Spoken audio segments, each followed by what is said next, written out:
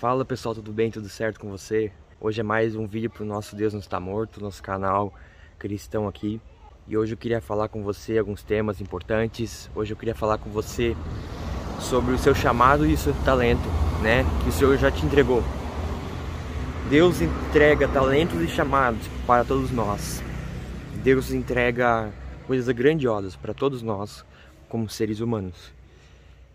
E todos nós temos um talento, algo que ele nos deu, alguns mais, outros menos. Existe até uma certa parábola que Jesus fala, pessoas, é, algumas pessoas receberam vários talentos do Senhor. Ou seja, algumas pessoas receberam vários talentos assim da parte de Deus, sabe? Bom, então existem vários talentos que Deus deu. Jesus fala de uma parábola que as pessoas tinham talentos, né? Algumas receberam mais e outras receberam menos talentos.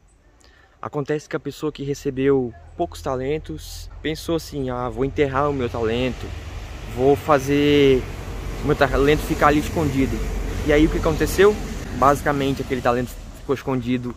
E o pior aconteceu porque a pessoa escondeu o talento dela. E sabe o que aconteceu?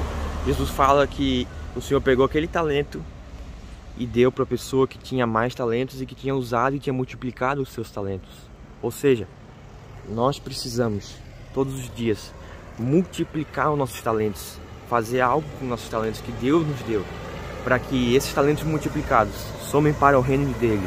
Porque você pode ter certeza de uma coisa: se Deus te deu uma habilidade, se Deus te deu um talento, se Deus colocou algo no seu coração, se Deus te deu toda a estrutura em Cristo Jesus para fazer algo, se o Espírito Santo está nisso, você vai ser cobrado se você fazer ou não fazer.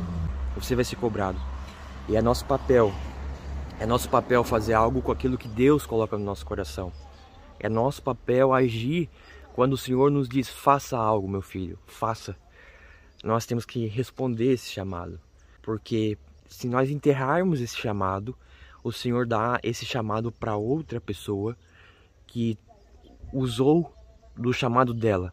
Então nós precisamos, todos os dias, nós precisamos todos os dias, bota isso na tua cabeça todos os dias. Se Jesus te deu um talento, se aquilo está queimando no seu coração, se você está com dúvida entre fazer ou não fazer, pense no seguinte: aquele talento que eu tenho, aquilo que eu tenho ali de habilidade, foi Deus que me deu e é algo que vai a favor das coisas que estão na palavra de Deus?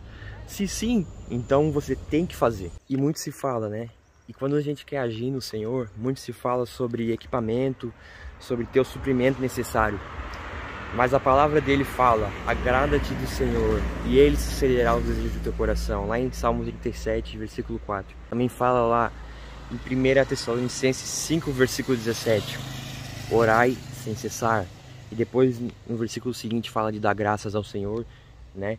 Então, se você está esperando algo para fazer aquilo que Deus te deu, meu amigo, não espere, faça. E os, meu amigo, não espere, faça. E ele e Ele te dará o suprimento necessário. E Ele dará aquilo que você precisa em Cristo Jesus. Amém? Então eu quero orar com você, Pai, em nome de Jesus, que esse filho e essa filha amada teu, que ele possa viver as coisas sobrenaturais do Senhor e viver o melhor que o Senhor tem para ele, que ele possa ver que Deus é poderoso e que o Espírito Santo capacita ele para fazer coisas maiores no Senhor, coisas mais é, que ele nunca imaginou que ia conseguir. E assim eu oro. E que ele possa ter seus pecados perdoados, que ele possa reconhecer seus pecados e que ele possa ter uma vida contigo e ela possa ter uma vida contigo. Em nome de Jesus Cristo. Deus abençoe o seu dia e é isso aí. Nosso Deus não está morto. Uhul! galera, então vamos pra cima. É isso aí, galera. Tamo junto. É isso aí curta, se inscreva no canal e compartilhe com seu amigo aí que tá com medo de fazer aquilo que Deus mandou ele fazer. É isso aí, valeu!